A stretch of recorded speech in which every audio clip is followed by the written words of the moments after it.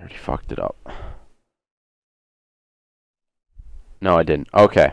Hey guys, how's it going? It's Odar here, and today I'm bringing you guys a brand new video. Uh, today I'm going to be showing you guys how to update your dashboard to the latest dashboard, which is now 17148.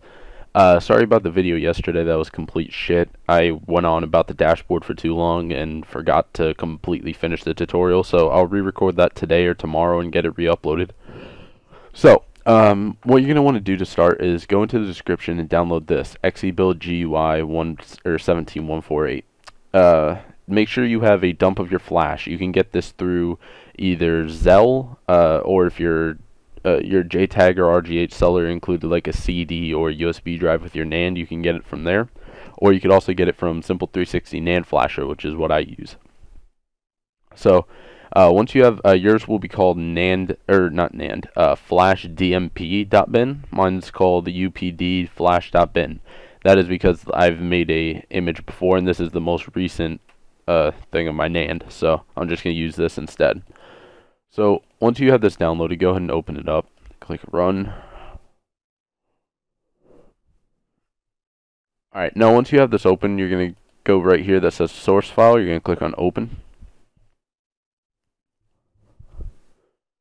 And uh, also to start this, once you have your NAND dump and everything, uh, boot into XeLL because you're going to need to grab your CPU key unless you want to type it in. Or you have it somewhere else, but uh, I don't. So, well, it generated into a file on my desktop, but I'm not going to copy it. Um, once you load your NAND, it should uh, automatically detect all this. Your build type, mine is uh, RGH 2.0, and mine is Corona. So uh, obviously, like I said, you can manually type that in, but for this, we're going to go through XeLL.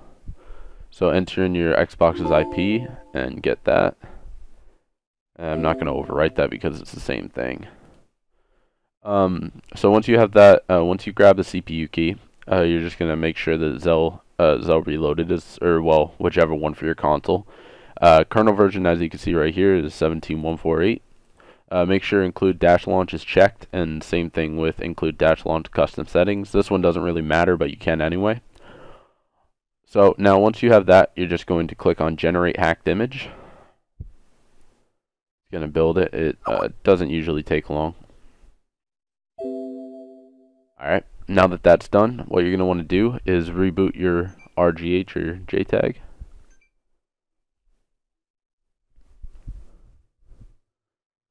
Uh, usually what you would do is you would put your uh, put the new NAND. You would usually put it onto your. Uh, you'd usually put the NAND the new NAND onto your flash drive, but I can't just because of the fact that it's uh. If I unplug my PVR for some reason, Camtasia stops recording, and I don't really want that to happen. But uh, while my RGH is booting, I don't know if this actually did it right because I don't see the old NAND and the new NAND, just this one. So while my RGH is booting, I'm going to go ahead and rebuild this. And if you guys missed it before, now's your opportunity.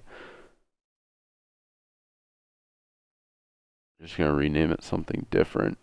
Yeah, see, because it was trying to overwrite UPD flash, which is what I already did.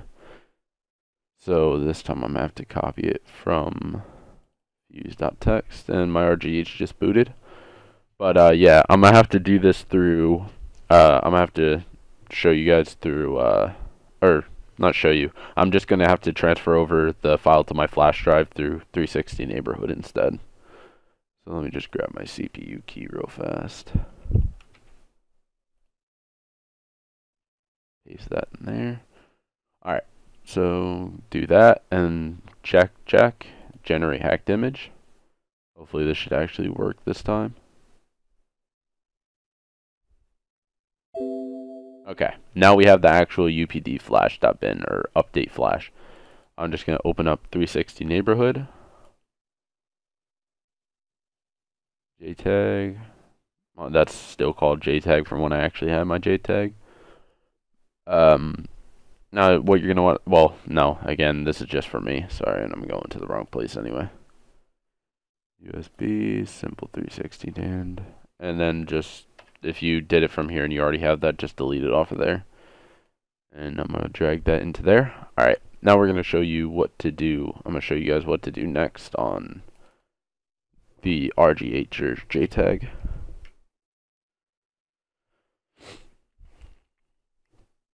So for you guys, you can just uh, put it onto your USB or whatever, and then uh, if you're, I'm gonna show you guys how to do it through Simple 360 NAND Flasher because that's what I use. But uh, if you guys want to go and do it through XeLL, that's completely up to you. I'll wait for my PVR to initialize and actually show my Xbox. That'd be great. Hello? Plus? Oh, okay.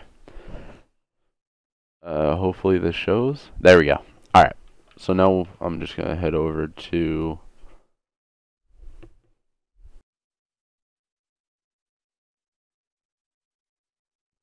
Hey, sorry about that.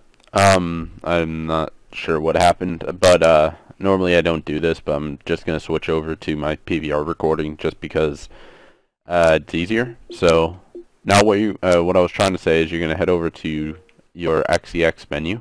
Once you're in XEX menu, uh, load Simple 360 NAND Flasher, or if you're doing this through XeLL, just boot XeLL and do it through there. I don't know how you do it, so yeah. Uh, you can do a safe flash if you want, but as long as you fo follow this tutorial to the T, then, uh, well, not to the T. As long as you just follow it, there's no reason you should mess up. And uh, just press A to flash your NAND, press start, and we're just going to let this finish. This goes uh, relatively quick, but um, unless you have a uh, either a Jasper RGH or JTAG, that is the 512 or 256 megabyte NAND version, that might take a decent amount of time. And uh, also, what other? Uh, the Corona 4 gigabyte models, the uh, the 4 gigabyte NAND version, yeah, that's uh, pain. That's definitely going to take a long ass time. And you're going to need a large USB drive to. Uh, um, and yeah, it's definitely going to be a large amount of time to flash. As you can see, the console's booting.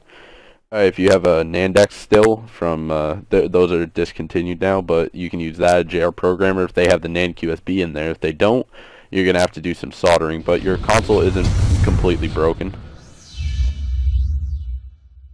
I reflashed my NAND, so I have the original boot up as well as my custom one now.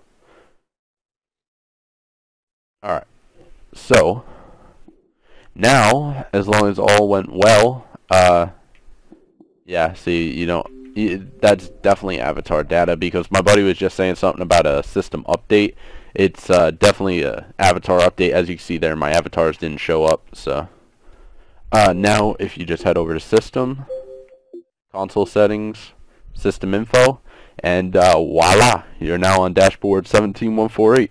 So I hope you guys enjoyed the tutorial, and uh, yeah um, also released their update. Is that's what people are telling me. If they did, I'll release another video showing you guys how to get that set up on the latest dash.